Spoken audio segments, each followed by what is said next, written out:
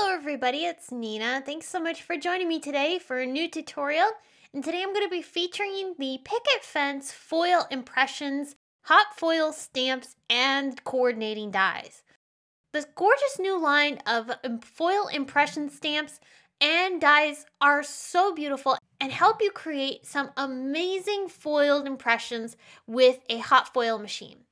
So here's a selection of the foiled impressions sets that I have from Picket Fence. It comes with the hot foil stamps and coordinating dies to cut out either the sentiments or the images that you have in your sets. For my first example, I'm going to be using this beautiful peony. This is the hot foil stamp and I'm going to use also the coordinating die to cut it out. To use this product, you will need a hot foil machine. I'm using the Gemini foil press, but you could also use the Couture Creations Go Press and Foil machine.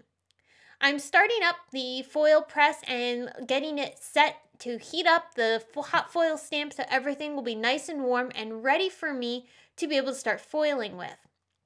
I'll go over the machine in a minute. Once the machine has been fully heated up and the hot foil stamp is ready to be transferred into a die cutting machine with the platform, I'm going to take the foil and lay it face down onto the hot foil stamp and then my cardstock and the top plate. Then I'll disengage it from the machine and run it through my die cutting machine. In this case, I'm using the Gemini Junior.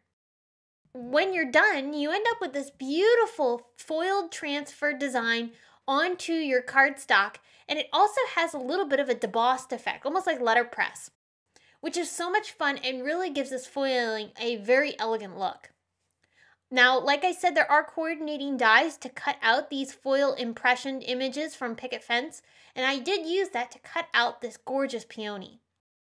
This peony is so stunning with this rose gold foil on top of the red cardstock and you can even see on this side example the debossing that happens when you use that hot foil stamp, the way it impresses into the cardstock. You could also use this without foil and no heat and simply run it through almost like a embossing folder to get a really beautiful embossed impression on your cardstock. You could even use ink for a true letterpress effect. I finished off this card by using some Copic markers to add a little bit of shading to the peony then I also brought in a Simon Says stamp leaf cluster die, cut that out from some green cardstock and also colored that with Copic markers.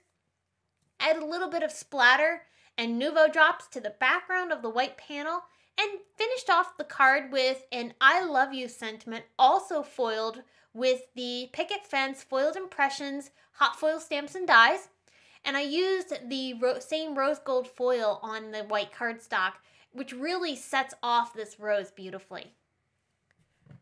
I also did another example using the thank you hot foil stamp from Picket Fence. Now, like I said earlier, I'm using the Gemini foil press machine. The Gemini foil press, you want to go ahead and use the lowest setting when you're doing something with paper crafting like this. I usually like to let mine heat up for about 30 to 45 seconds just to let it get really good and hot. And you want to make sure that the light is green next to the temperature gauge of your foil machine. Once this is ready, you can add your foil and your paper on top of that hot foil stamp, add the platform back on top, and then disengage it from the machine and run it through your Gemini Junior.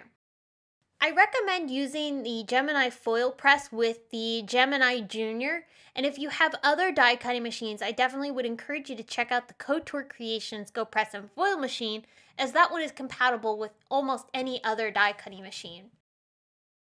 But again, you can see that the beautiful results you get with these gorgeous picket fence foiled impressions dies, the combination of the foiling and the letterpress effect simply is stunning. And I just love how this finished off with some stamps that I used from Altenew, stamped with Distress Oxide inks, and I added a little bit of Nuvo drops around this one as well in some coordinating colors. My hope is that these cards using the picket fence foiled impressions hot foil stamps have inspired you to create with these too. There's all sorts of other designs that you can get in these hot foil stamps, so I encourage you to check out all of them over at the Simon Says Stamp shop because we have a whole collection of them that you can choose from. If you enjoyed this video, I hope you'll give it a big thumbs up and subscribe to our channel for more inspiration. Thanks for joining in. I will be back again with more to share very soon. And until next time, I hope you have a great day. Bye!